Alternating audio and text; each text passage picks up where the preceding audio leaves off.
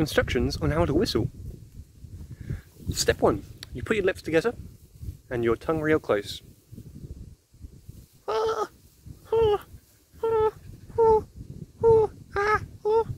Like that.